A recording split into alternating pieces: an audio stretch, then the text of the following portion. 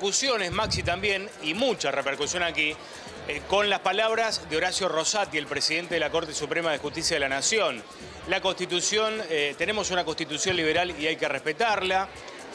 El gobierno tiene que defender el valor de la moneda. Lo que se interpretó aquí con esto que quiso decir, bueno, criticó por supuesto la emisión descontrolada, pero lo que se interpretó con esto, Maxi, es que la Corte está rechazando de alguna manera una propuesta de dolarización, porque sostiene Rosati, y lo voy a leer textualmente para, que, para no equivocarme, dice, la Constitución, es decir, viola la Constitución no defender el valor de la moneda, dijo Horacio Rosati aquí en, en Amchan, en el Icon, eh, al ver Icon aquí en, Puerto Madero, lo que, te digo, fue interpretado como un eventual rechazo a una posible o un posible intento de dolarización.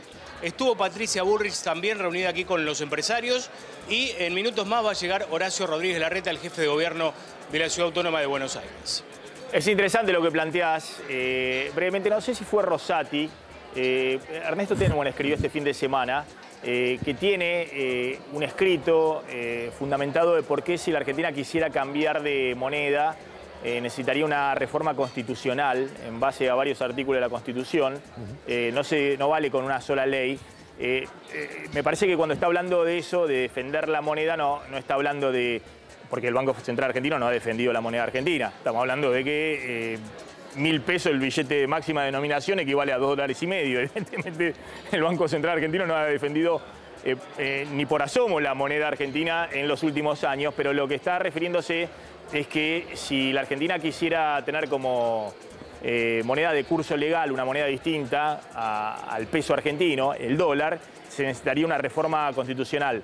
Ojo que yo no soy jurista, pero si Rosati lo ha fundamentado esto, es uno de los integrantes de la Corte Suprema de Justicia y en última instancia la Corte es la intérprete eh, de eh, la Constitución ¿no? y de las leyes, última instancia, con lo cual eh, abre todo un debate respecto a si estamos discutiendo algo que es imposible, porque antes se necesitaría, una reforma constitucional argentina para implementar el dólar como moneda de curso legal. Distinto es la convertibilidad, que se hizo el peso atado por ley a una paridad fija de uno a uno con el dólar, pero el peso era eh, en la convertibilidad el- la moneda de curso legal. No me quiero distraer porque la frase de eh, Minujín, del presidente de JP Morgan, en la Argentina ha generado mucho ruido. Esto es lo que decía Facundo Minujín esta mañana ahí en Ancham.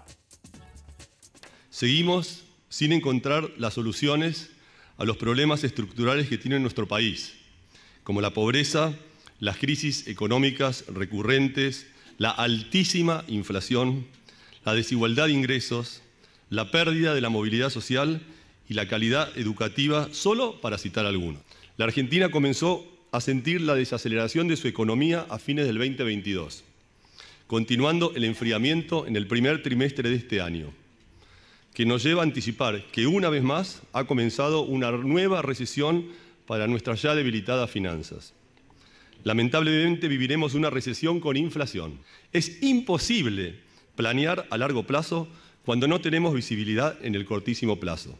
Estamos navegando en un banco de niebla y este nivel de incertidumbre es constante y resonante y no ocurre en nuestros países vecinos. Bueno, ahí estaba Minujín eh, jugando fuerte, lo que está contando eh, es verdad, hay efectivamente un enfriamiento de la economía, técnicamente se considera dos trimestres consecutivos eh, de caída de- del PBI, eh, recesión, Eh, todavía no, no lo estamos cumpliendo, pero se va a cumplir probablemente en junio y estamos contando que todos los pronósticos para este año hablan de una caída del PBI de por lo menos 3% por el impacto de la sequía, con una inflación arriba del 126%. Efectivamente vamos a estar en un escenario de altísima inflación con recesión. Pero